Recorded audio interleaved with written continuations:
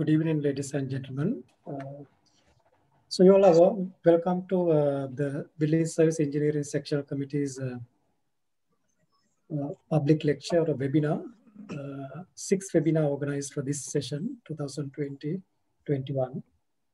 So this time also we have uh, selected very timely, important, also very valuable topic, but not engineering, is something about your health and safety, but also equally important like engineering, because we all know that now, as engineers, we all are always working with machines and equipment and their replacement, repairs, retrofits to maintain the machines, the functionality and the efficiency. But we hardly look at our body servicing systems like your heart, your lungs, your liver, your kidneys, also more important than the equipment and machines. Those are very important engines in the body.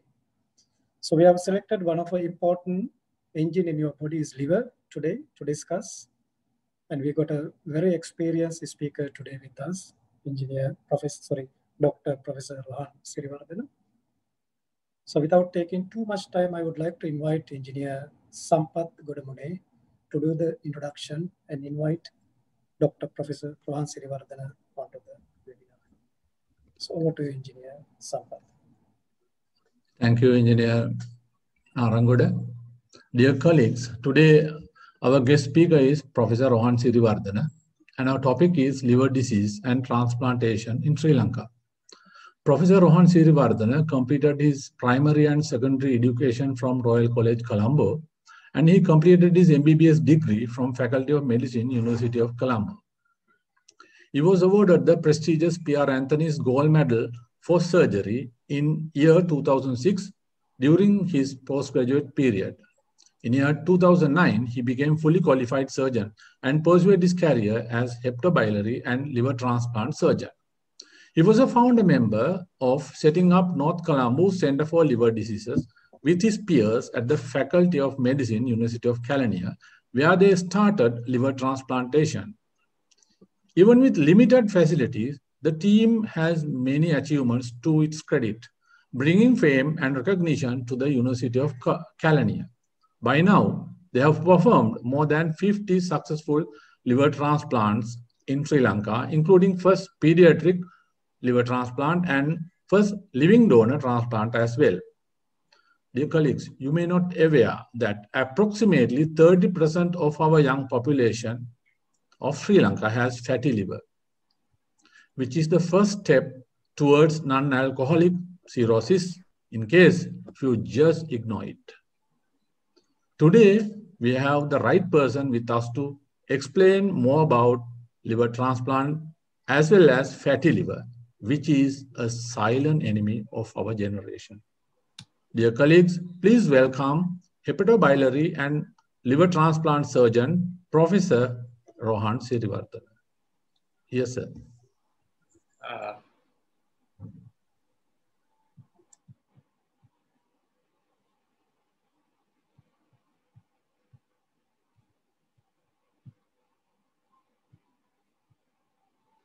uh, Sampath, can you see the screen? Yes. Professor, we can, we can Yes, see. Professor, we can see. Yes, uh, thank you very much, uh, Sampath, uh, for that uh, uh, introduction. Uh, well, I guess you can hear me. Is my voice adequate or can you hear me clearly? Yes, very well. Of course, clear. okay. well, this is a new experience for me as well because um, I have spoken to my colleagues in medic medical profession have spoken to students in uh, medical students, have spoken to patients, but uh, you guys are a different group of people. You are uh, well educated, highly educated, and and and but you your medical uh, background may be a little less uh, compared to other things.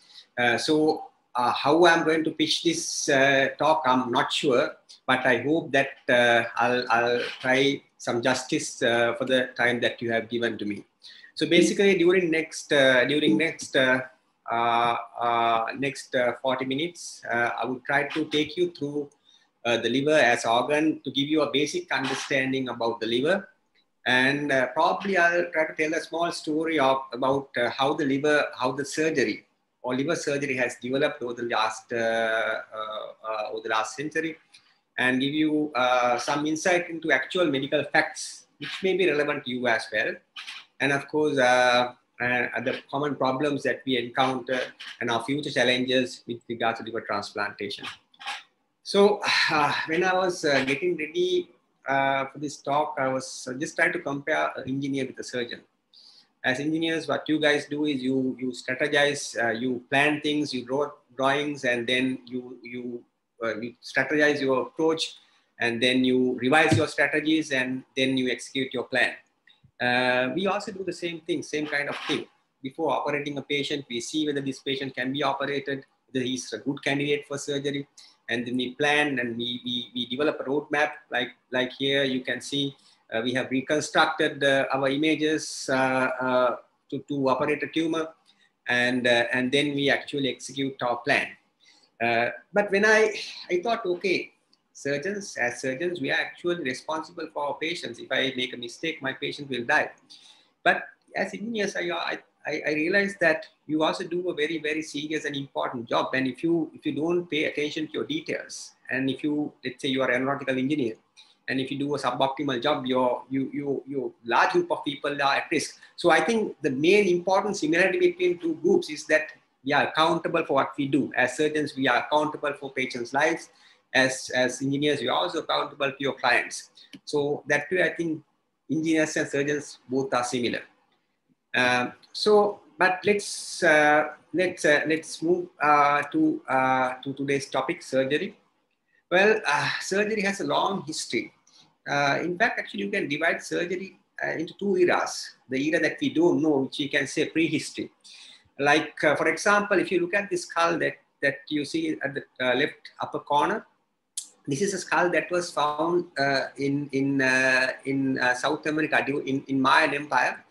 Uh, they believe that they have actually made this surgical. Uh, you can see tiny holes here. Can, they have made these holes in the skull, and they have believed. They think that they have they, they believe that uh, there's a, this is believed to be for patients with headaches, and there's an evil spirit that is causing this headache, and to take the spirit out, they have made these surgical holes in their skulls.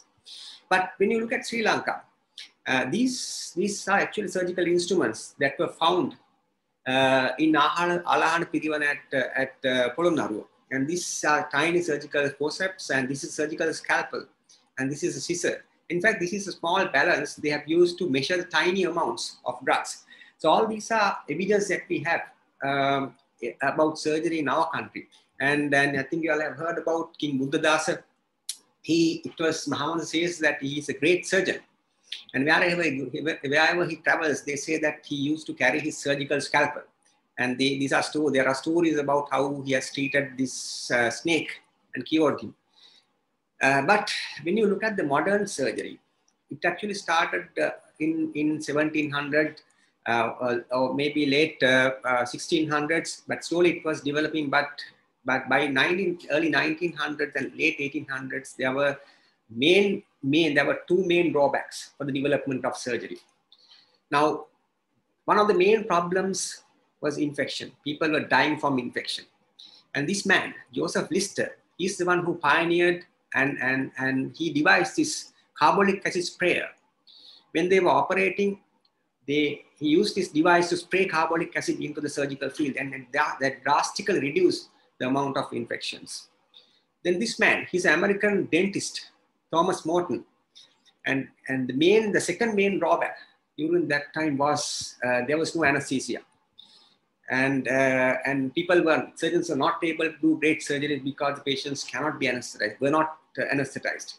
And he devised this gadget and uh, uh, he used ether as the first anesthetic agent. And with these two methods, the surgery advanced very fast from in 1900s. And this is a historical theater in early 90s. It is called a theater because it was an act. It was a act of, it was a heroic act where a surgeon performs this magical thing at the middle and people used to sit around this and watch this surgery. And that was how the surgery was performed days by gone by. But today, today this is the kind of theater that we are looking at, highly sophisticated. Lot of theaters, a lot, lot, lot, lot of, uh, lot of screens, lot of monitoring gadgets, lot of instruments, lightings, and different uh, air conditioning systems, and all these have made a great difference to surgery now. And but but having said that, I think in 50 years time, people look back and say, okay, these were the surgery, these are the kind of theaters that people use sometime back because science is evolving very fast.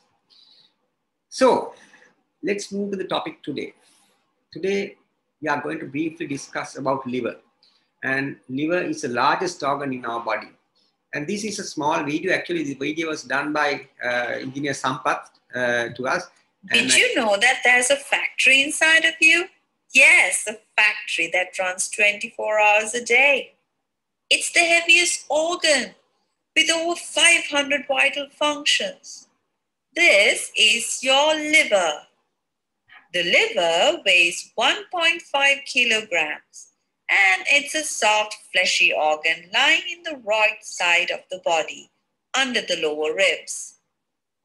It has two main lobes, the right and the left. It is in close proximity to the gallbladder that lies underneath it and the stomach lying left to it. The location of the liver enables it to receive blood from two sources. Well oxygenated blood from the heart and blood rich in nutrients from the gut. Now, by receiving this nutritious blood coming from the intestine, the liver can process it before it gets transported back to the heart and distributed to other parts of the body. If the liver is cut open and viewed under the microscope, we see millions of microscopic hexagonal structures such as these, which are the functional units of the liver. The liver manufactures various proteins, cholesterols, and vitamins, and not to forget bile. Bile is this green substance that helps break down fat. Liver also works as a processing unit and a storehouse. The blood can bring harmful toxins and byproducts. Imagine these as criminals, which the liver gets rid of or make it less harmful. So, is it not our duty to keep the liver running smoothly and not to load it with harmful toxins? Yeah, so that's basically if you look at your liver, there are uh, it's an essential organ. It's the largest organ in our body. It's essential organ. There are few key functions. Whatever that you take into your body, liver processes that so that it can be used as a different substances and other parts of the uh, organs in your body and if you get uh, it, it takes off your tox, uh, it takes off the toxins that you take into your body and it stores substances. So those are the basic functions of the liver in simple terms. And if the liver does not work properly, you cannot live your normal life. So over the years, the medicine has advanced a lot.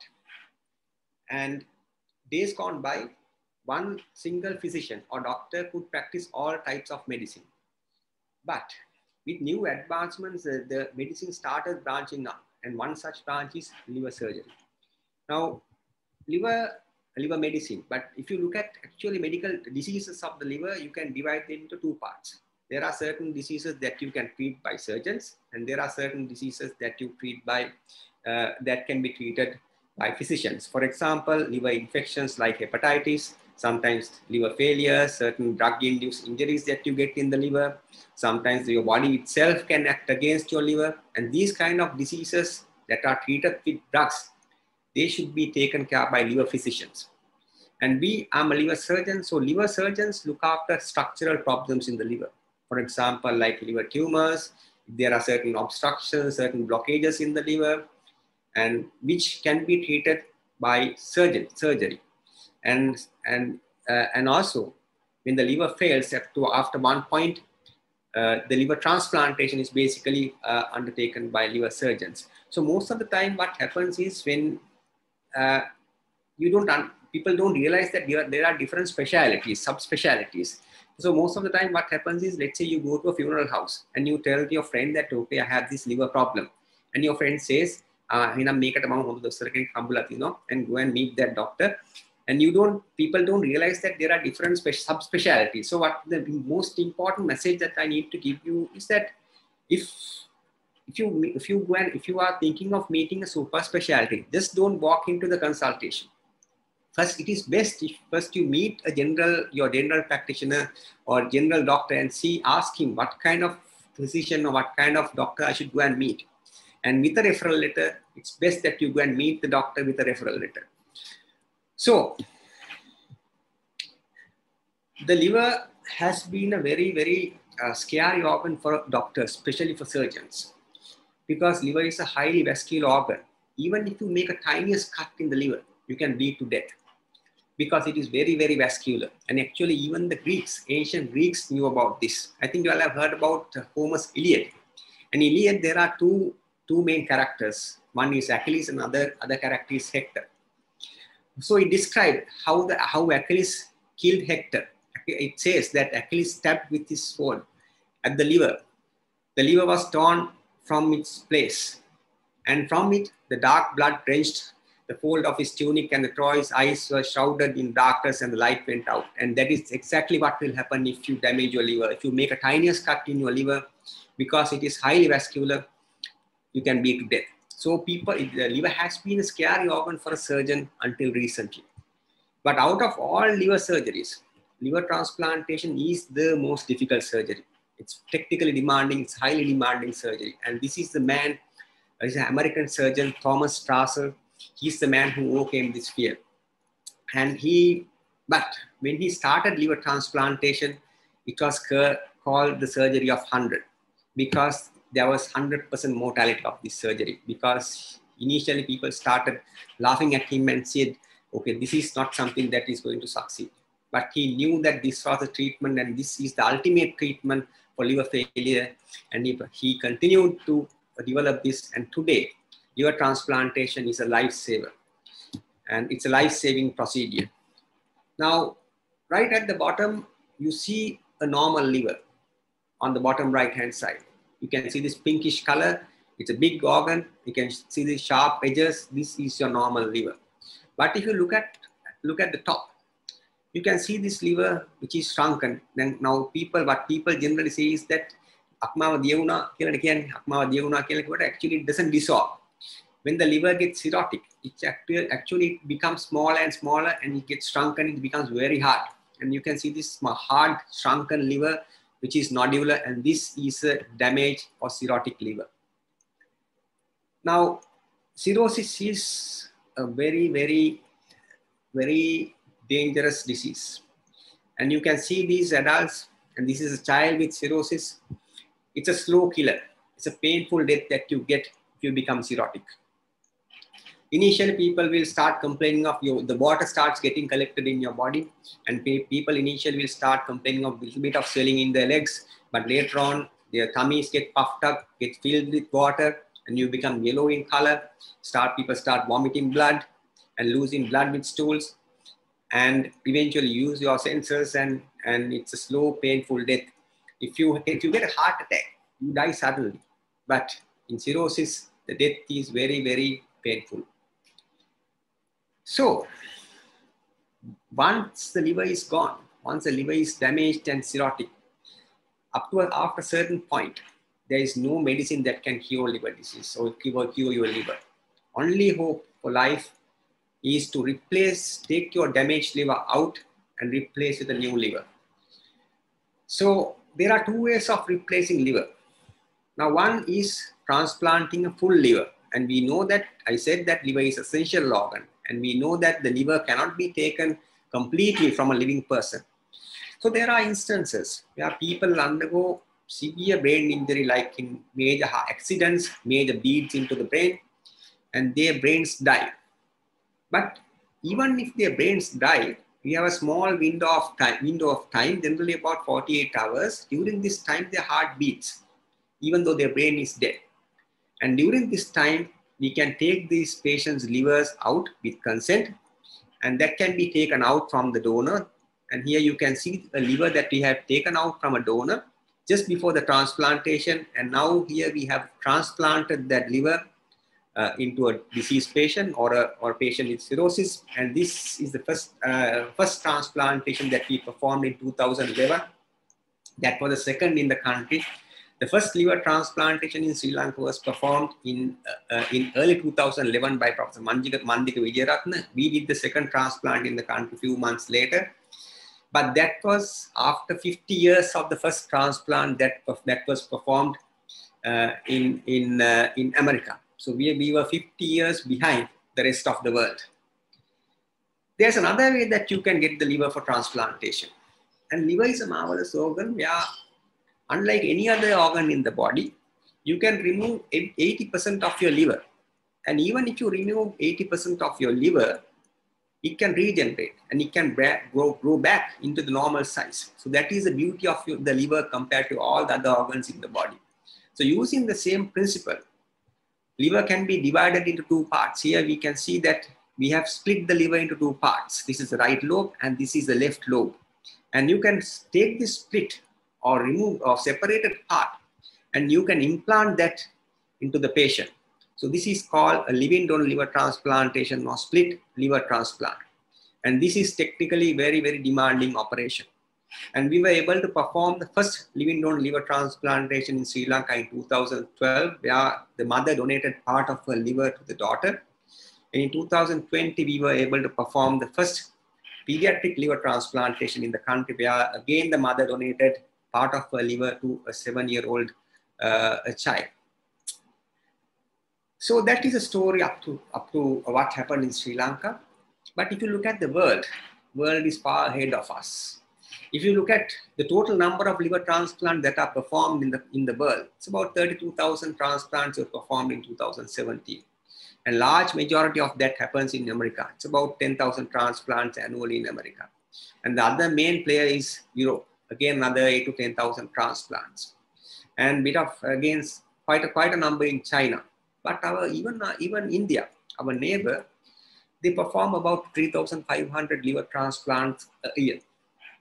Now in Sri Lanka, we, we do less than 10, 15. Our numbers, if you look at the maximum transplant that we had, the transplants that we have performed in Sri Lanka, it's about 10 to 12 transplants a year. Now, why, why are we lagging behind?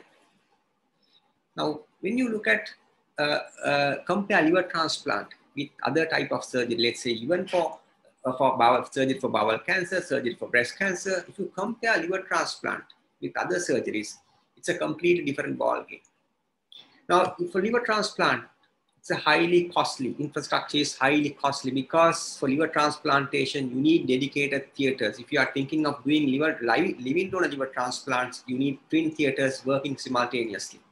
And a lot of high-tech gadgets are needed uh, to operate on liver and you need specialized other instruments and infrastructure is very, very costly. And that is the main drawback, one of the main drawbacks for us for, to develop liver transplantation in Sri Lanka. The other important thing is the trained staff. Now, if you look at another surgery, just a surgeon and the anesthetist is good enough to perform the surgery. But liver transplantation is not like that. You need a big, big team of highly specialized, highly trained people working simultaneously. A large group of trained people, uh, trained specialists are needed. You need the surgeons, uh, you need hepatologists who look, who look after the liver medically, you need anesthetists who have trained in the liver, intensivists, transfusion medicine who, who takes, takes care of liver uh, for, on transfusions, microbiologists, all these people who are highly trained in, in uh, this field. But the thing that happens is it takes long time for you to train these specialists at least for me, it took seven years for the training. But what happens most of the time is when you're high training and, and when, when, when doctors are sent abroad, they are absorbed by these their overseas training places and most of our surgeons don't come back. And even if they come back because of the system that we have in Sri Lanka, they get posted to a faraway place and they can't practice what they learn and they, they get fed up and then they leave the country. So because of that, this has been another major drawback uh, to develop liver transplant in Sri Lanka. And I, I described about, uh, about the organs that, the type of organs that we, we use for transplantation. I will not go into details of that, but the third and, but the fourth most important thing is patience. Now, why, uh, why should we talk about this? Now, this is an interesting picture that you have at the top. Now, the top left-hand corner, this picture was taken by uh, R.L. Spittel uh, uh, in, in uh, early 90s. And these are group of Veddas. Can you see the, can you observe their lean bodies that they had? And this is a group of Veddas uh, recent Vedda picture that was taken recently. And can you can you observe? Can you just have a look at the small pot bellies that they have and unfit bodies that they have? And this again is a picture taken around 1960s. Group of youths and lean bodies. But look, let's look at us now. I, am not sure some of you guys must be here. Uh, uh, try, see, ha, have a look at the kind of body stature that we have. And this is, a, is becoming a disaster. Now, what is the reason for this? I can remember my grandparents telling that you have to eat a kanda wage kandak way to be healthy. And that exactly was a type of diet that we had. Our ancestors they they used big they, they ate a big plate of rice. But having eaten that big plate of rice they went to the paddy field and they worked from morning to evening like bulls. But what do we do today? We, we eat the same plate of rice. But they, then we go to the office sit in one place maybe stare at the computer. In between we might take a bit of a coke and maybe some cutlets or rolls and maybe french fries. Sometimes you are really in the mood of eating, you might get a, you might order McDonald's, and you sit in one place and you gulp all these things. And this has made us a very, very unhealthy nation. Now, the reason, what, what is the problem with this? Now, this is the glycemic index of different type of foods that we eat. Now, if you look at white rice, if you look at rice, the glycemic index is 89%. That means amount of glucose that is released into your circulation after eating these type of foods. So food like carbohydrate foods, wheat, bread, rice, anything based on uh, wheat, these kind of foods, they contain a very high glycemic index. So what happens when you eat this food? Now the body gets sudden surge of glucose or into your system and the glucose is energy. And the body does not know what to do with this excess energy that you take in.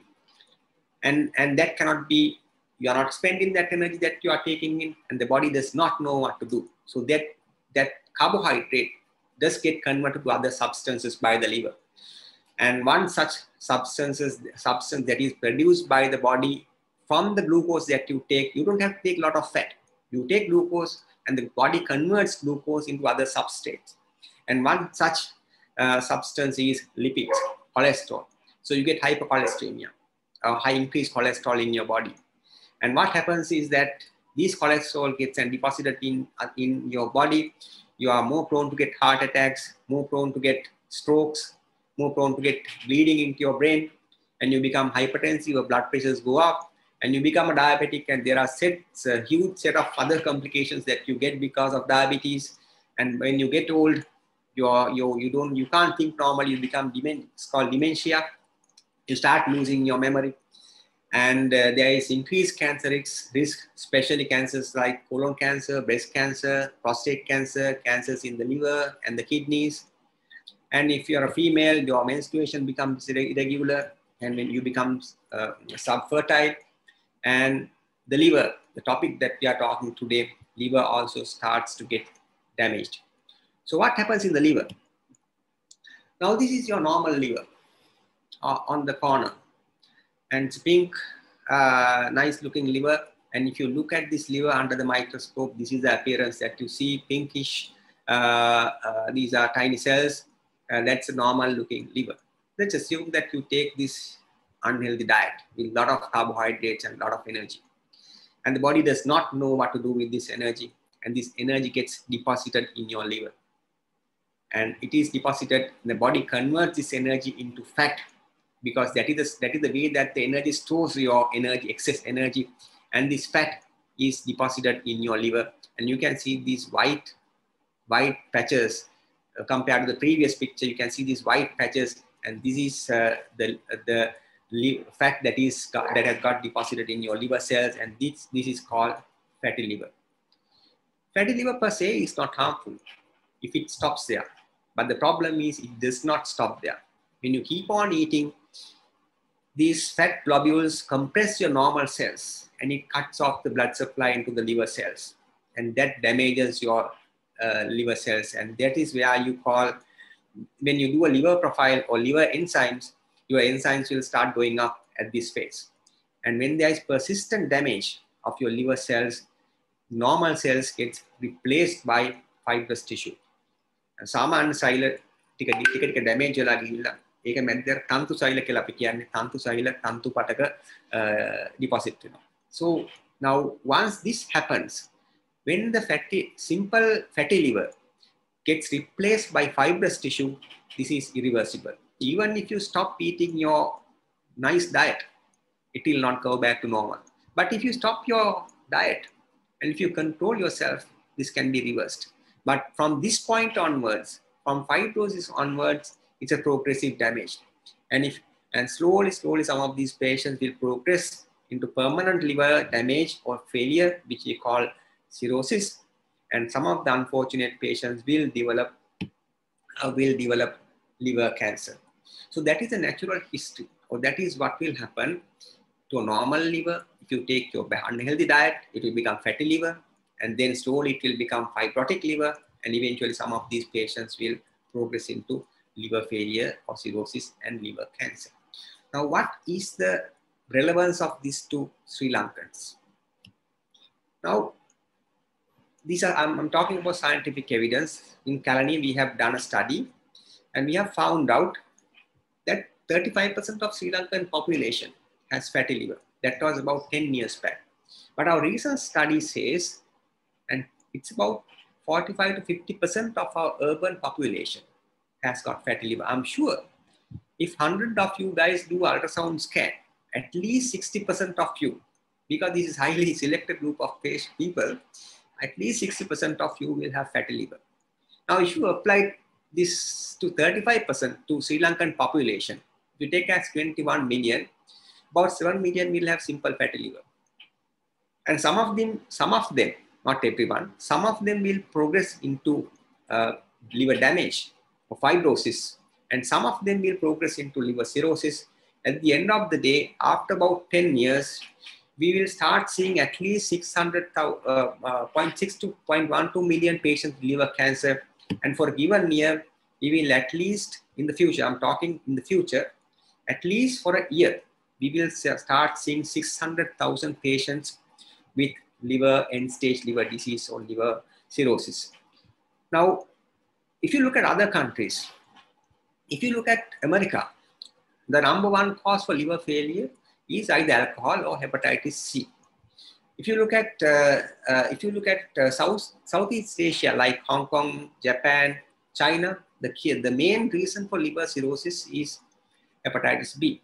But if you look at India, it's a combination of hepatitis B, hepatitis C, and a little bit of fatty liver. But in our country, in Sri Lanka, the situation is completely different. This is our data during the last 10 years, and we have found that 80% of our patients get liver cirrhosis not because of alcohol, because of fatty liver progressing into cirrhosis. So this is a major problem in Sri Lanka. It is going, it's already a major problem, and it's going to be a major, major problem in the future because because our young population is quite unhealthy now and 10 years time significant proportion of these patients will develop this disease and this is going to be a problem in the future. Now today we talk about mystery kidney disease. We, we talk about the uh, epidemic of kidney disease in sri lanka. And today we are at least 10 to 1500 patients die because of uh, because of chronic kidney disease and that become an epidemic. And we talked about this today and but still, the good thing about kidney disease is if your kidneys fail, still you can live with dialysis. But if your livers fail, there is no dialysis. It's a slow, painful death because there is no way to sustain your life apart from liver transplantation. So unless we are careful unless we pay some attention on this today, this is going to be something similar to liver uh, kidney disease or epidemic of kidney disease that we see in our country today. So how to how to address this? Now, I, I, I mentioned that this can be treated, this can be prevented. So the best way to treat this is prevent. Because once you get liver cirrhosis, there is no way, no treatment that is going to cure, cure liver uh, cirrhosis apart from liver transplantation. But this can be prevented 100%. It is our desires that lead to this problem. Now we know that uh, as, as humans, when we were in our stone ages, we had very limited requirements. We wanted a small shelter, maybe a cave, or to make kill a small animal, and maybe a dig a root, and gather something to eat and reproduce. So that was that were our main uh, requirements. And, and the main threats that we had was uh, maybe a bit of uh, threats from uh, wild animals, maybe some rare diseases that, that we didn't know about. So there were very little requirements and very, very different kind of threats. But over the years, over the centuries and millennia, we have, we have, we have changed, we have evolved. We have built civilizations, our medicine has advanced a lot, and now we are in a capitalistic sort of a type of a society. So here we get a lot of inputs. We look at the TV and we get inputs and, and and we get so many advertisements and so many temptations and these these advertisements speak into our desires and these provoke our desires and these desires is the one that brought, that has brought up these different type of threats to our life now it's a desire that you have to change and it's the most difficult thing to change now the problem i told is increase or, or, or, or abnormal intake of carbohydrate so what we re recommend for our patients is that 25% of your diet should be carbohydrate. You should not take more than 25% of your diet should not be carbohydrate. So limit your carbohydrate intake. 25% of your diet should be uh, uh, proteins. So proteins are generally harmless in this disease. And 50% of your diet should be fruits and vegetables. So what we generally say is that two meals are good enough for you to for if you are if your lifestyle is generally a sedentary. And generally try to avoid taking a heavy meal in the night. Take a light light diet in the night uh, uh, something like a soup or maybe some boiled vegetables. So don't take a heavy meal. And your two main meals should be your breakfast and your lunch in between try to avoid this taking unnecessary snacks not to take a lot of sweets which has a very high glycemic index. And for a week, at least three days, at least 20 to 30 minutes, do some exercise. We generally believe that you can eat a bar of uh, chocolate, and if you, you walk around your walking path, then you can burn these uh, calories that you have take, taken. It's not like that. For you to for you to burn the calories that you have taken from bar of chocolate, you have to walk at least half a day. So you can't burn like, you can't, it doesn't work like that. So the first or the most important thing is prevention.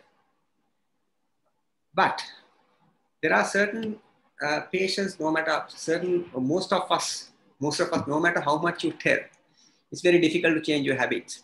And, and out of this group, a small percentage of people will progress into cirrhosis. Now, once it, I, I, mentioned earlier, once it progresses into cirrhosis, there's no other treatment apart from liver transplantation. Now, let's look at India. India, I said, has become a country uh, progressing very fast in liver transplantation. Now, for a year, they do about 3,000 liver, 500 liver transplants a year. But in India, liver transplantation is highly commercialized all these liver transplants that happens in India are done in private hospitals. And half of these transplants are done for overseas patients. So even their number is high. Actually, only half of these transplants that happen in India are done from for Indians. So this is done for most of the time for overseas patients. And a transplant in India costs about 12 million rupees. Now, that's one model of uh, medicine where the private sector has developed and it offers transplantation or it offers a treatment. But if you look at kind of patients that who, that who comes to our OPDs, how many of these patients can afford a, a, a transplant or a medical uh, um, a treatment like that that is developed in the private sector. So I don't think the option for surgery like this is uh, to develop the services in a, in a private hospital. And this is the kind of place that we operate. This is our theater that we do transplant. And this is the kind of facilities that we have in our system. Uh, very basic facilities. We operate in the night. So we are, because we don't have specified theater time, we operate in, operate in the night. And this is the kind of infrastructure that we have today. And this has to be changed. If you don't, if we don't address this now, in 10, 15 years time, uh, we will be facing a major problem where so many patients will come to us and we will not have answer to give to these patients. So after 10 years of hard work, we have finally got some got approval uh, to develop our own place uh, to offer these uh, services. So hopefully with time to come, we will be able to cater the needs of this country. Uh, so in summary, uh, so I've mentioned that the liver transplantation or liver is a challenging organ to operate and Sri Lankan younger generation is becoming physically unhealthy and are at risk of developing chronic liver disease. And I mentioned most importantly, the prevention is the best option uh, before it is too late. And of course, uh, the infrastructure has to be developed, uh, improved so that for the unfor unfortunate people who become disease or cirrhotic in the future, even now, they, there is a way to treat these patients. Um, so thank you very much. And I, I believe that you have gathered something out of uh, this, this talk.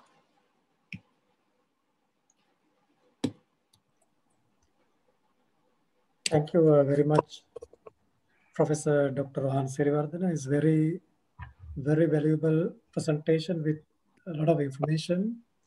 Mostly, I also got a little scared about uh, my behavior my day-to-day -day practices. So we need to correct ourselves immediately. So I would like to uh, hand over to uh, our moderator, Engineer Lakmini, to forward uh, questions uh, from the audience or to manage Q&A from the audience. Engineer Lakmini. Thank you, Engineer Aranguda. So uh, we have received uh, one question at the chat. It comes as comes with three parts. Uh, Professor Rohan, uh, the first question is, do you recommend to undergo liver biopsy just after observing a high SGPT value, like 300? Okay, yeah. So it's a very, uh, very highly specialized question that uh, that was asked. So uh, I'll, I'll give a general answer for that question. Uh, so liver biopsy is the last option that we select to come to the diagnosis. Um, so basically, if you look at the natural history of uh, uh, the fatty liver, uh, what happens is initially your liver enzymes are normal. And after some time with the liver damage, the enzyme starts going up. And the generally amount of liver enzymes rise that you see is not very high. Generally around 150, maybe that's a rough, rough uh, median that you see. But having said that, there are certain patients who get a little bit higher enzyme levels than that. So the so then on you you you start uh, the thinking about whether this is something else, whether this is progressing uh, into uh, uh liver fibrosis. So there are other ways nowadays, apart from liver biopsy to diagnose uh, that stage, like there are something called fibroscan. Uh, there are other ways of diagnosing that. So first, generally we might do that. And then as a final option, looking at the other parameters as well, uh, like other blood reports, uh, um, you might think of doing a liver biopsy. So this is a very highly, highly individualized, individualized decision. But sometimes when we can't, if we uh, come to an answer, we might think of doing a liver biopsy. Uh, so uh, to the person who asked the question, you should meet a hepatologist um, uh, to take uh, to, to look after you further. Thank you, uh, Professor Rohan. The next part of the question is, is it okay if the SGPT value is in between 40 to 80? Uh, what if it is uh, in between 40 to 80 for more than 10 years? So, okay, it is not normal. so it's uh, your liver enzymes have very, uh, has gone up. So uh, it is not simple fatty liver, but we call NASH, non-alcoholic steatohepatitis. So it has gone up a bit. So it is not okay. So, uh, but uh, you, it has been stable for last 10 years. So that means it is not progressing. So all the patients who have fatty liver will not progress. Some of them will progress. So what my advice to the, uh, the person who asked the question is, it's not okay, but it seems, looks like your liver is not progressing. But it's very important that you change your diet, you stick your diet, uh, uh, uh dietary changes and change uh, your lifestyle as well.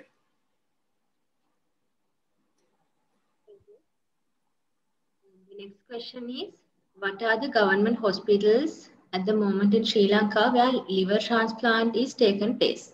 Yeah, so liver transplant happens in two places. One, uh, I'm from Ragama. Uh, Ragama, we have done uh, 52 transplants up to now. The other place uh, that uh, that liver transplant happens is uh, at Colombo National Hospital.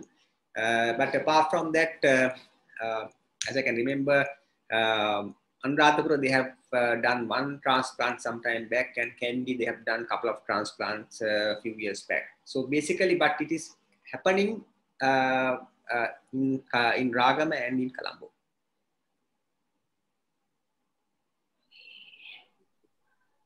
Question number three is, what are the tests for check proper liver functions? Uh, I think the uh, if you only think of liver functions, you should do a liver profile. Liver function test, it's a liver profile that give that that has different parameters, uh, different sections in liver profile, different small small items in liver profile. So liver profile is uh, the first thing that you should do, and I I believe everyone it's best you can get ultrasound also. So to, you can start with the liver profile and ultrasound scan and depending on that, of course, we decide on other, other second line investigations.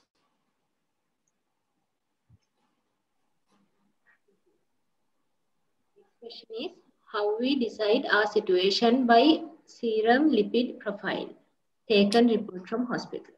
Uh, I didn't get the question. Can, can you just repeat it again? How, how can we decide our situation by serum lipid profile, report taken from hospital? Uh, uh, so you, uh, you are talking about uh, the question is on two different things. Lip, uh, lipid profile is uh, something completely different. So lipid profile, let's say you have a fatty liver and your enzymes are high.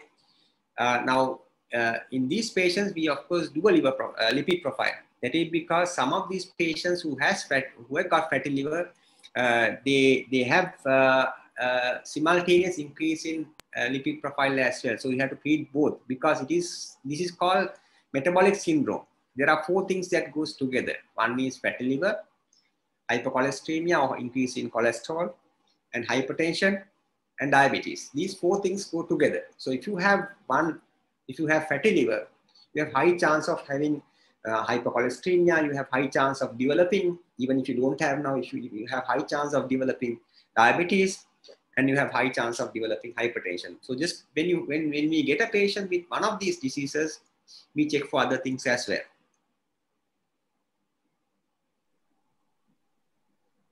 Question is, what are the early signs of liver disease and how worried you should be when diagnosed? Uh, again, uh, uh, open question. signs of liver disease. so it's a spectrum. fatty liver is completely asymptomatic. Even if you have fatty liver, you, you will not have any symptoms. So it's a harmless, or you can't you can't say it's harmless. It does not have symptoms when it is simple fatty liver. But some of these patients, they will progress into liver fibrosis. Again, in the, at the stage of fibrosis, again, you will not have any symptoms. You start developing when your liver becomes, developing symptoms, when your liver becomes cirrhotic. So So this is a time where you will start developing, your uh, legs will start to swell and uh, you'll feel uh, lethargic and your eyes might become yellow. And, and this is a time that these are the signs and indicators of cirrhosis. But when you start developing symptoms, it is too late. You can't do anything for this. Uh, at that stage, you can't treat cirrhosis apart from transplantation. So if you, if someone starts developing symptoms, that means it is too late. So that is why it is important at this stage, you look into this problem as a problem. When you see ultrasound with fatty liver, uh, Uh, you see, you take it as a problem and you attend to that now because when you start developing symptoms, it will be too late and you can't treat. And actually you don't have now, now uh, let's say you, you are diagnosed with fatty liver, you can't, there's no, there's no need to go and meet a doctor because most of the 95% of the time, you can take care of yourself. That is the treatment if your liver enzymes are not elevated. Of course, if your liver enzymes are elevated, you should go and meet a hepatologist. But if your liver enzymes are not elevated, if you have simple fatty liver, the most important thing is change your lifestyle and your diet. There are no quick fixes. Most of the time, patients come and ask uh, about uh, ask for a drug. There are no drugs to change your desire. Right? So you, there are no drugs to treat fatty liver. So you eat, you get a diarrhea. So likewise, when you eat, you get this problem. So you have to control yourself and change yourself. Otherwise, uh, there are no drugs, no treat, no no medicine which are effective, no quick fixes for fatty liver. There are certain drugs people have tried. People try vitamin E. People try other uh, sort of vitamin. There are certain fancy drugs, but all these are not really drugs of much use. So it's up to you. Next question is, uh,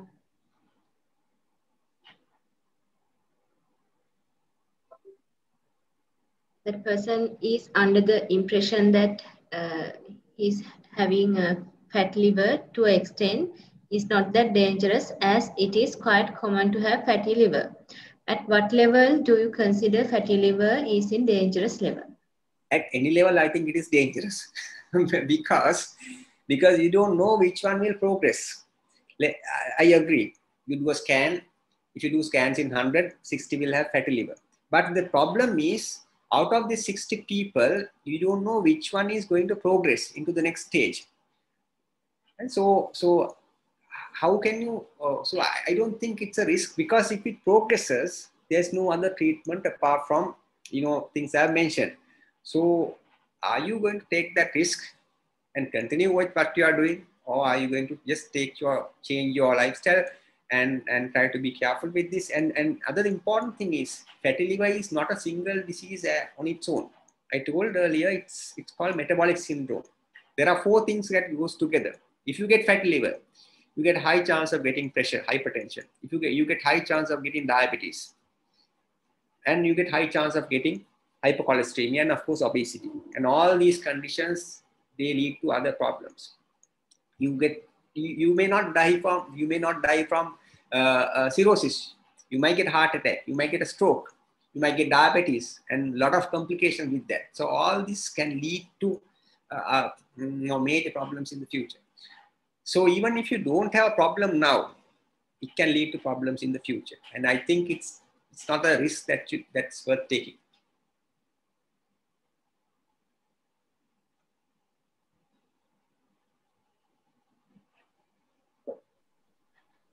Next question is, please explain little more about the possibility of getting dementia. Can it be treated? Uh, uh, I'm sorry, I didn't get it. Please explain little more about the possibility of getting dementia. Can it be treated? Uh, well, uh, it's a different spe um, speciality. I'm not expert to comment on that. Uh, but uh, fatty liver, as it's a combination of a lot of things because of the pressure, because of increased uh, glucose, because they are getting diabetes, their sugars are high. It can affect the function of the brain long term. But how to treat how effective the treatment is uh, and the outcome of that, it's a different sort of a different topic and uh, it is best answered by a neurologist. So I'm not the best person to answer to that question. I'm sorry.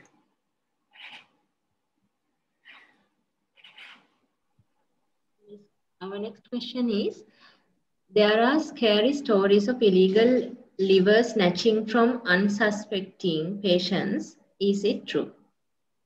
Uh, well, there are a lot of scary, um, uh, scary uh, stories. Uh, actually, organ transplantation, not only liver transplant, organ transplantation is a highly sensitive area. Um, uh, uh, a lot of uh, lot of stories, not only stories, actually, a lot of things. Uh, there are a lot of ethical issues with regard to liver transplant, organ transplantation. Now, uh, few I'll just uh, point out few few such concerns. one is transplantation uh, from living donors. I told that liver, part of liver can be harvested and transplanted. And similarly, in kidneys, you can take, because there are two kidneys, you can take one kidney and, uh, and transplant. So generally in Sri Lanka, in, in, there are countries, the laws on different countries are different. In Sri Lanka, uh, uh, a live, anyone can become a live donor. So what the usual process is, uh, let's say uh, I want to donate my part of my organ, part of my kidney or part of my liver to a patient. So what happens is I give my consent and then there are certain legal documents and these legal documents are reviewed by a committee and then they approve and the transplantation happens. So that's a normal legal process of live organ transplant.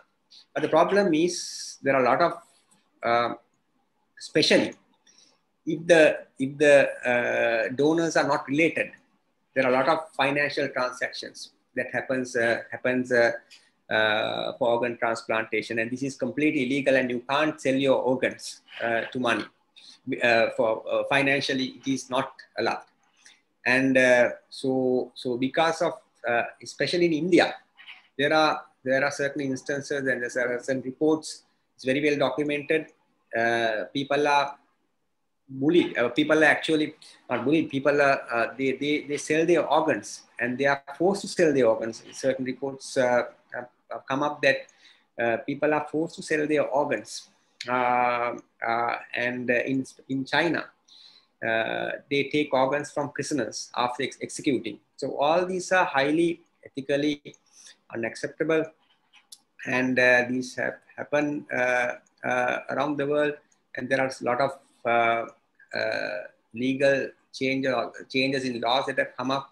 Uh, so in India, actually, because of this reason, they have they have limited live donation only for related donors. So if you are not related to your patient, you cannot donate. And Sri Lanka, uh, recently there were some stories similar uh, to that where uh, commercial donors have come from other countries to donate organs. So these are all concerns and um, laws have to be changed.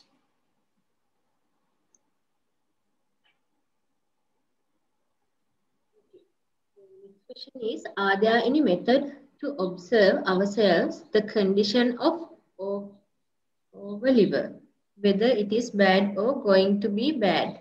How much cost per one liver transplant? Uh, what is the first question? Uh, uh are there any ways to observe? Are there, are there any method to observe ourselves the condition of our liver, whether it is bad or going to be bad. Okay, so basically the question is, uh, are there any, maybe are there any tests or, or, or ways to find out whether your, your liver is going to get, uh, your liver is damaging? Uh, so I, uh, uh, I, I, mentioned earlier the two basic things that you require is a liver profile and ultrasound scan. And I think I, even though none of the guidelines say this, but I believe that if you are a uh, if you are having a sedentary lifestyle, if you're office worker, if you're not, uh, if you are a bit overweight, it's better to get a liver profile, lipid profile, and ultrasound scan done at least uh, once in every three, four years and see whether your liver is becoming fatty or whether your liver enzymes are going up. So I think that's a basic, basic thing. None of the guidelines would say this, but uh, you can meet your general practitioner and ask, uh, ask uh, he or she to prescribe for these couple of investigations. Uh, and, and the other question is how much a liver transplant costs. So liver transplant does not cost in Sri Lanka if it is if it happens in, in government sector. Uh, but having said that, there are certain instances where drugs are not available certain times. Um, so people generally sometimes they buy certain drugs when it is not available in the hospital, but generally it's technically free of charge in state sector. Uh, private sector liver transplant does not happen in Sri Lanka, but if you look at India, India liver transplant uh, will cost about 12 million rupees. In Singapore, it's about 25 million rupees. Uh, but this is the minimum cost. But the problem is uh, a surgery like this is highly technically demanding and, and, and, a, and a complex operation and, and about 20, 30% of the people, they get some sort of a complication. But if they get a complication, the cost is, you can't say, okay, this is going to be the cost and you can't put a limit. And I have seen patients who were operated uh, in Singapore and started with 25 million rupees and eventually they, they ended up in uh, with, with a massive sum, uh, a massive amount of money uh, by about uh, uh, uh, 60, 70 million rupees eventually. So it can be quite quite challenging and can be quite expensive if you operate if you do a transplant in overseas country.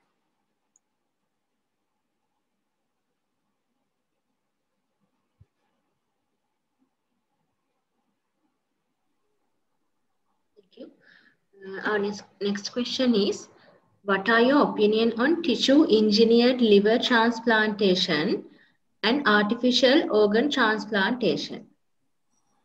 What Okay. uh, sorry.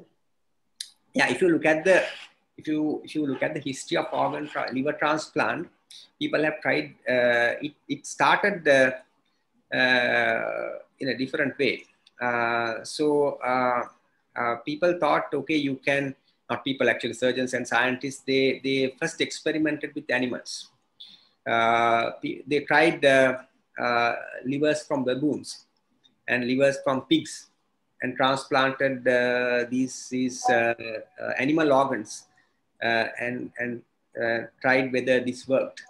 And actually, there are some reports.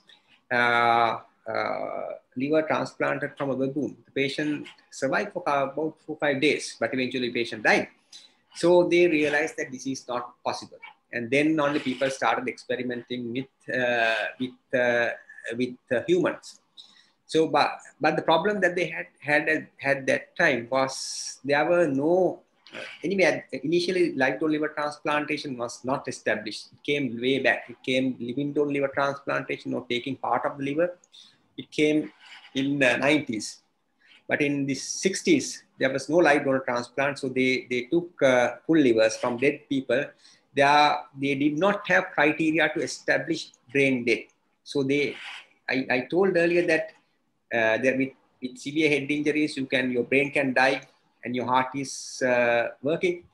So those criteria were not established.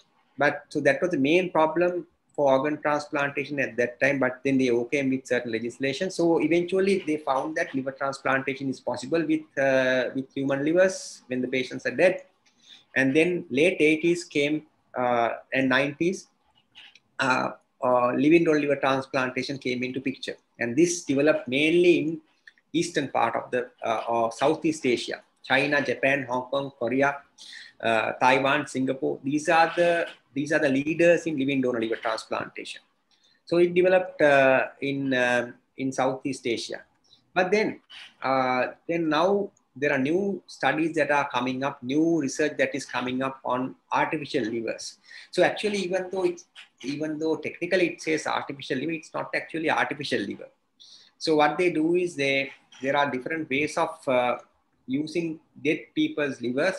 Actually, these are brain dead livers and remove their cells and uh, and harvest or, or implant uh, genetically engineered cells and to develop uh, or, or, or, to grow a new liver. So it's actually not artificial liver. It's still a biological liver but uh, engineered in a different way. But these are still all uh, all um, basic uh, at the basic levels of its development. But it will take a long time for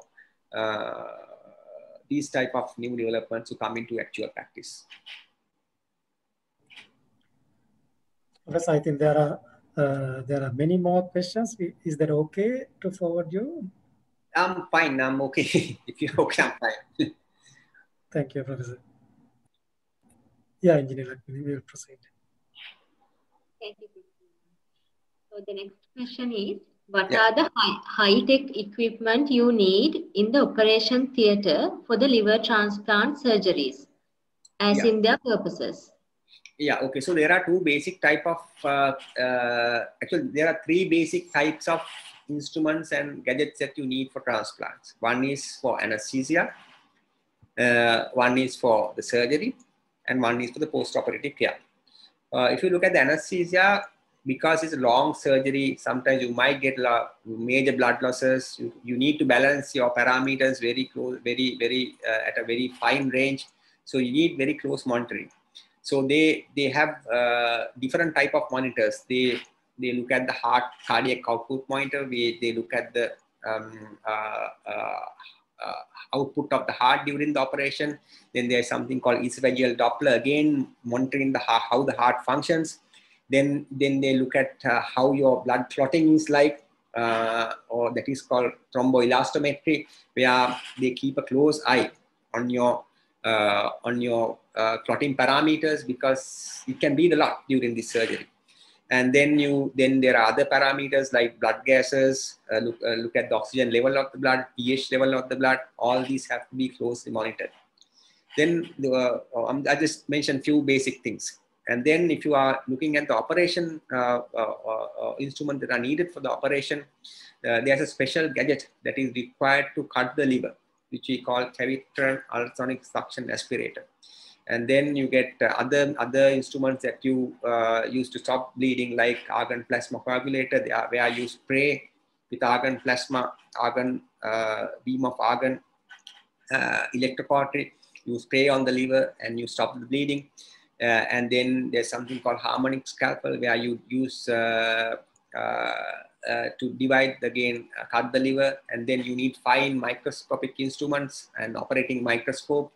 So those are intraoperative uh, few things that I mentioned that you need for the surgery. And the, after the operation, uh, the, the patients have to be monitored and managed in a separate ICU because you can't keep these patients with other general patients because uh, uh, the because Im immediately after the liver transplant, we put that we bring down the immunity. So they are highly they have a high risk of developing infections. So they have to be monitored in a uh, managed in a separate ICU where it's uh, you are trying to maintain uh, um, sterility as much as possible. And then during the recovery period also you need close monitoring. You need uh, sometimes some of these patients their kidneys might stop working. So you need uh, something called a different type of dialysis which we call CRRT machine um, uh, continuous renal replacement therapy. So, and, and different uh, machines that you monitor heart rate, uh, heart um, cardiac function. So likewise, there are a lot of, a lot of high-tech equipment that, is, that you need specifically for this surgery.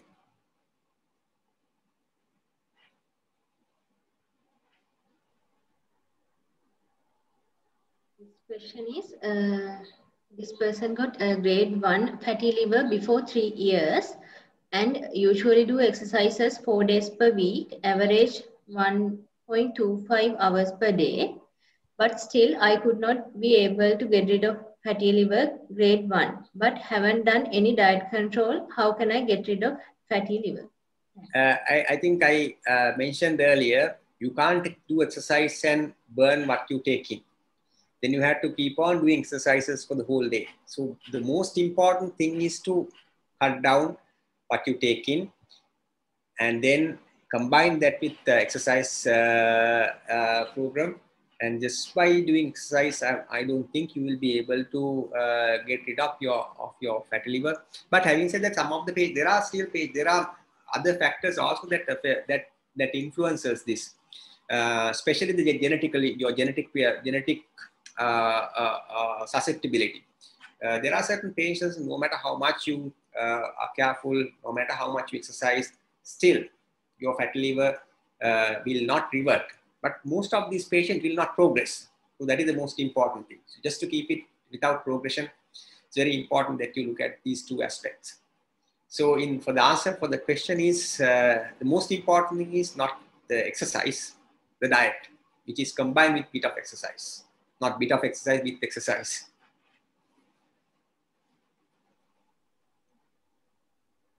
Is there a way to identify non-alcoholic liver disease and alcoholic liver disease? Uh, there is no scientific way. There are no tests. But uh, uh, uh so generally how you divide uh, alcoholic and non-alcoholic is based on the history. So you take the history from the patient and see whether he's taking a significant amount of alcohol and if the patient has got fatty liver, you tell, okay, you have got alcoholic fatty liver. But this is very crude way because uh, because there anyway there are 30%, 40% of our, of our population, even if you don't take alcohol, you get fatty liver. So if someone like that takes alcohol, you call it you call he or she a alcoholic fatty liver. So it's based on the history, but uh, just uh, there is no scientific way of or not scientific. No, there is no there are no tests to say whether to find out whether he developed fatty liver because of alcohol or whether he developed fatty liver uh, without alcohol. So it's based on the history.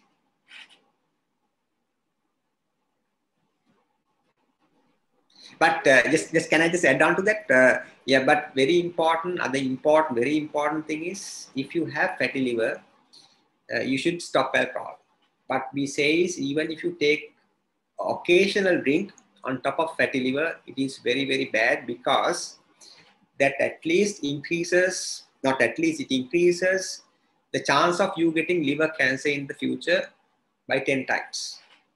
So it's very important that you does not do, do not con consume alcohol if you if you have fatty liver.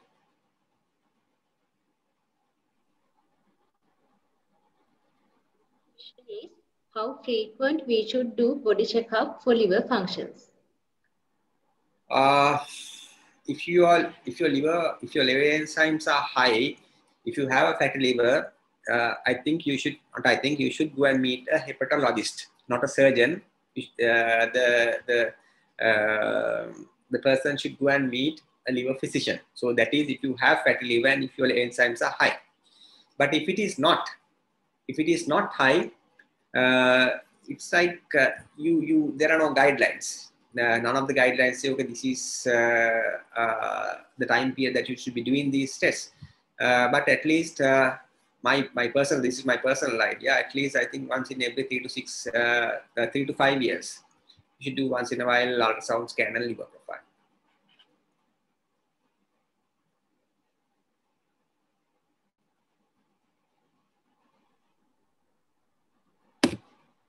What is the recommended frequency that a fatty liver patient SGPT 40 to 80 need to observe liver through ultrasound scan liver profile?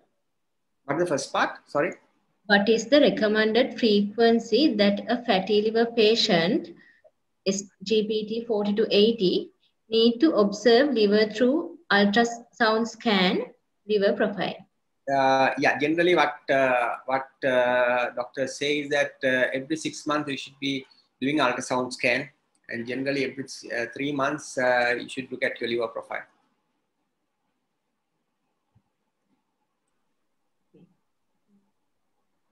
Question is, is it okay if a person having fatty liver take vitamin E liver supplements for long period? So again, I mentioned liver supplements are all fancy drugs.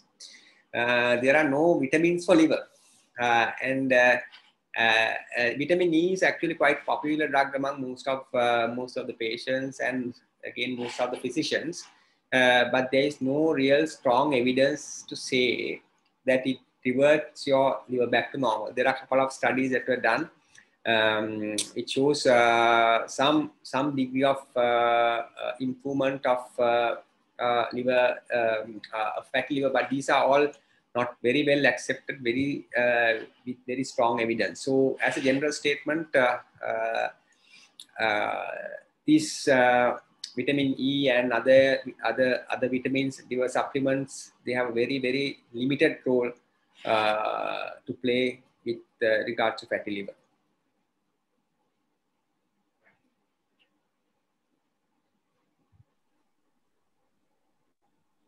Next question is, what is the risk age group for liver profile to regularly done?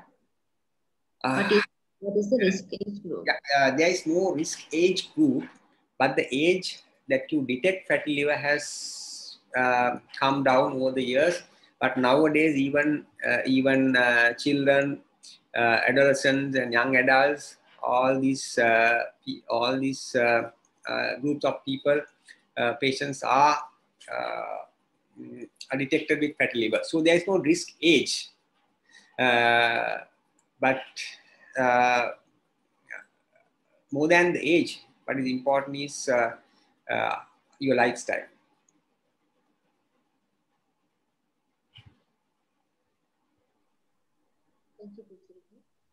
Next question is, is that the GOSL, does it have any strategy of awareness program of fatty liver to young generation and children? And we see a lot of chubby children are presenting in the public media, not respecting the skinny children are to be get involved. Uh, yes, that is true. That is true, and still there is no. Uh, it is not included in non. Now there are non-communicable non-communicable diseases. List of non-communicable diseases in uh, in Sri Lanka like pressure, diabetes, uh, you know, condition hypercholesteremia. Uh, but uh, still, fatty liver has not been included. Now, now actually, very soon it will come up uh, in our list of non-communicable diseases. It will be discussed now uh, but uh, it will come up but still uh, at the moment it is not included. And i think this is a very very important area that uh, people should be discussing because it is not a disease uh, a single disease. It's a group of lot of diseases. And if you have fatty liver you are prone to get other problems as well. And it is completely preventable it's going to be a problem in the future so because i think it should be included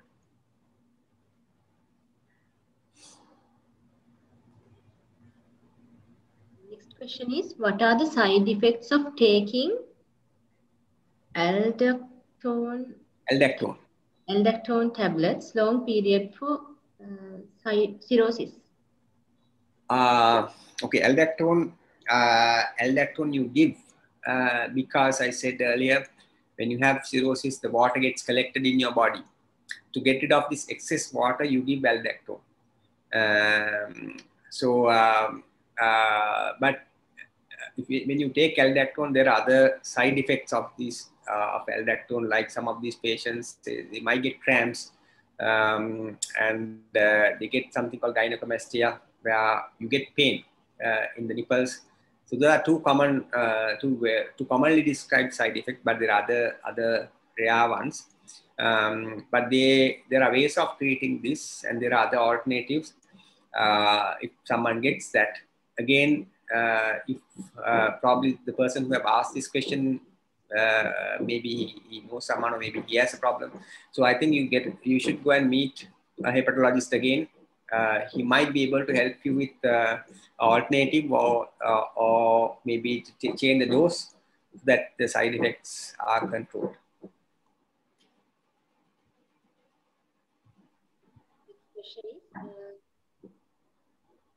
What are the main causes of non-alcoholic fatty liver disease in Sri Lanka?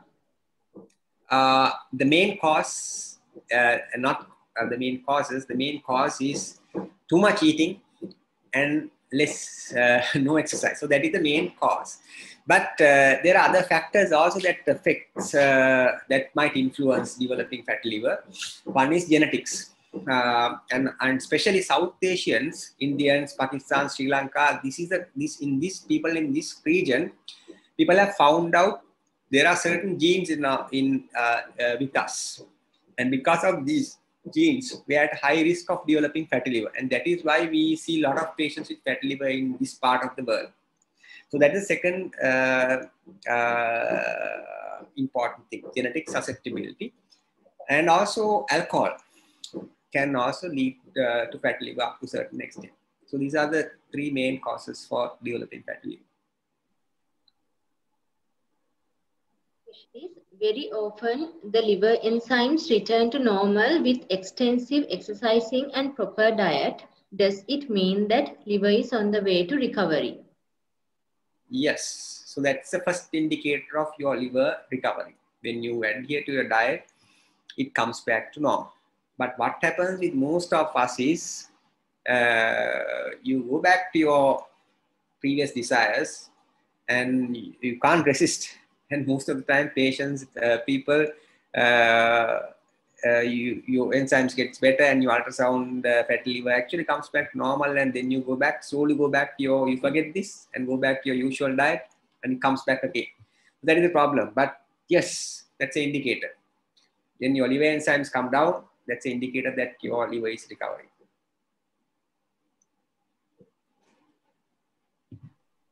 Question is uh, as I know, uh, women in Sri Lanka are having fatty liver more than the men. What is the scientific reason behind that? Is it due to bad food practices? Uh, uh, exact reason I'm not sure why why it is uh, a little higher. Uh, but I think probably the same diet that the men and women take. Uh, if you look at uh, the same thing that you eat, and probably uh, maybe the degree of exercise uh, that uh, the two, two sexes have compared to men compared to women. but except cause, I'm not sure.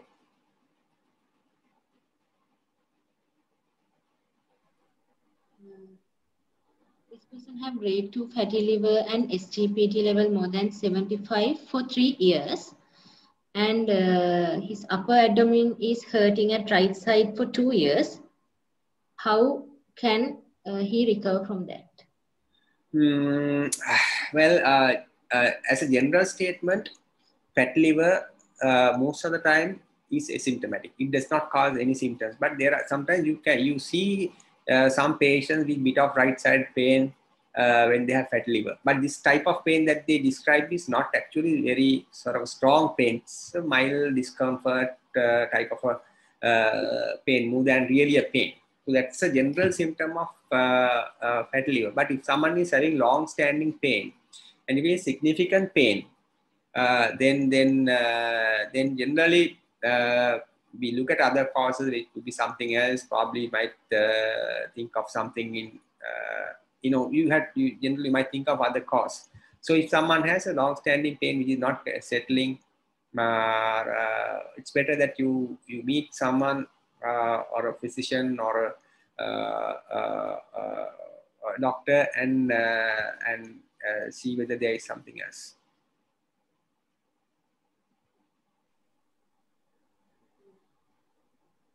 That's all from my end. engineer Narangoda, I think uh, you have a question. Yeah, uh, thank you, Engineer Lakmini. Sorry, that, that question was asked by you, but that's okay. I have another question, not from me, from one of my friends. Uh, that's if you have a simple fatty liver symptoms, the alcoholic consumption will be a problem. what do you think about that? So you can, is it okay to have an occasional drink? So that's a question. uh, uh, uh, so I can I can tell a, uh, what I can tell is scientific facts. So if you look at only scientific facts, uh, what is recommended is uh, if you have people have looked into this um, and people have followed up and patients with people with fatty liver and and they have looked at people who develop cancer with long-standing fatty liver. There's a big study that was done in Japan. Uh, about 25,000 patients with fatty liver, they are followed up for a certain period of time. And then some of them developed cancer. And then they looked at the causes, risk factors to develop cancer. And what they have found is uh, alcohol is the main risk factor to develop cancer. And because of that, uh, there are not only one study, there are multiple studies. They, they say not to take alcohol even in small amounts. So having said that, it's up to you to decide uh, whether once in a while uh, drink is okay. Thank you. Thank you, doctor. Uh, it's a long day for you. I know that you are really uh, tired, but uh, we would like to give a few questions, opportunities to the audience for his end. Please, uh, give a chance to get a consultation from the Professor Dr. Rohan Siriwardana today. For five minutes, we can give opportunity.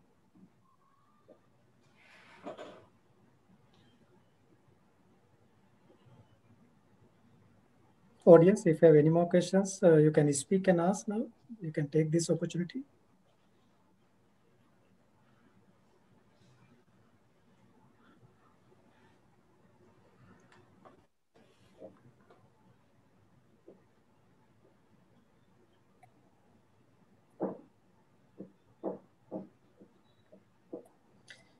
Because we know that uh, most of our engineers is working with stress and having bad food practices. And as per my knowledge, more than 50% of engineers are having some kind of a fatty liver symptoms. So that really bad, that because of bad practices, bad behaviors, bad desires. So we got a good uh, like uh, warn from you today, honestly, to correct ourselves immediately. I know our audience got the right message. Uh, audience, please, we can uh, we can give you opportunity for few questions if you have, please.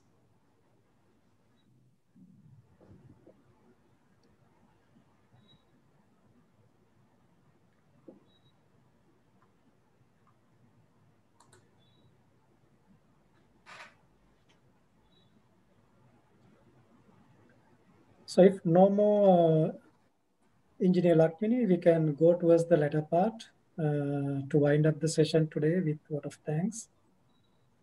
Shall we move towards? Um, Mr. Narangde, uh, thank you, uh, Professor Rohan, for the interesting session.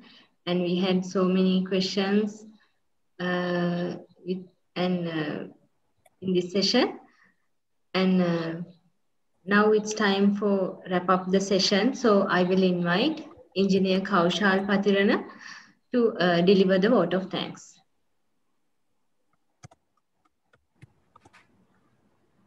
Thank you, Engineer Lakmini. Good evening. I'm Kaushal Patan from Building Service Engineering Sectional Committee. Um, well, wow, it was quite an informative and timely, interesting session.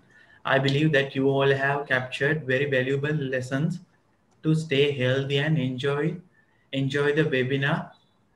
As we are reaching to the end of the lecture, I'm here to present the vote of thank on behalf of the organizing committee. First, I would like to provide our sincere, sincere gratitude for the guest speaker today, Professor Rohan Siriwardana, for sparing us time at this very challenging time and enlightening us with a load of knowledge. I shall thank Engineer Sampath Godamano, who introduced and communicated with Professor Rohan and creating a platform for this event. Um, then I would like to thank the IESL staff for providing the facilities and arranging the webinar successful. Uh, last but not least, our sincere gratitude for all uh, for actively participating to this webinar. Before winding up, I would like to invite you for upcoming public lectures and other events organized by the Building Service Engineering Sectional Committee for the session 2020-21. We will inform further details in due courses. Okay, well then, we are looking forward to see you all soon in next event. Wishing you a pleasant evening. Stay safe, stay strong, and save lives. Thank you.